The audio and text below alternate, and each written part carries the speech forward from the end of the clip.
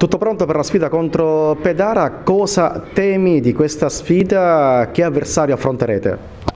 Ma Pedara secondo me è un'ottima squadra, non sono frasi fatte, ehm, insomma l'abbiamo studiata abbastanza e abbiamo visto che comunque ha messo in difficoltà anche la capolista Santa Teresa, quindi ha dei punti di forza importanti, gente che ha fatto bene in altri campionati.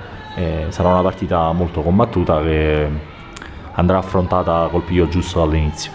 La SEAP come arriva a questa sfida? Abbastanza bene, ci stiamo allenando bene e sono contento.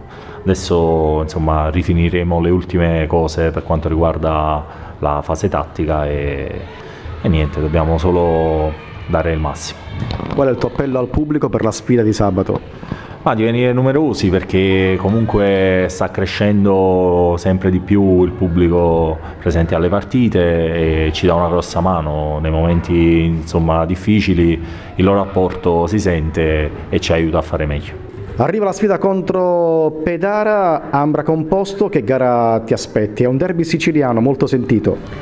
Sì, eh, beh, sicuramente non sarà facile perché comunque conosco un paio delle giocatrici che, che sono a Pedara e, e, sono conosciute assolutamente per la loro grinta e la diciamo, voglia di vincere e di fare sempre bene e poi sappiamo benissimo che contro di noi tutti quanti danno il massimo eh, perché siamo la squadra magari da battere e quindi ce la mettono sempre tutta. Praticamente e tecnicamente che partita ti aspetti?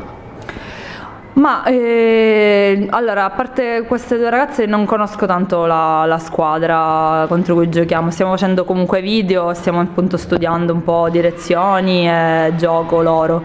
E, onestamente non saprei, ripeto, di sicuro sarà una partita secondo me dal punto di vista di eh, grinta e in campo molto viva.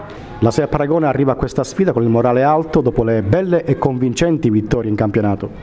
Sì, grazie a Dio, a parte la sconfitta a Santa Teresa, poi le altre partite sono andate abbastanza bene e sicuramente sappiamo che quello che dobbiamo fare noi è sempre dare il massimo e cercare di vincere tutto a punteggio pieno.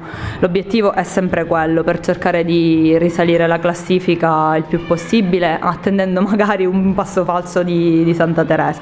Noi come sempre ce la mettiamo tutta e abbiamo l'obiettivo davanti a noi. Serve anche l'apporto dei tifosi, qual è il tuo appello al pubblico? Di venire numerosi e di sostenerci in campo facendo anche un po' di confusione e di tifo come si deve. Vi aspettiamo ovviamente tutti quanti sabato.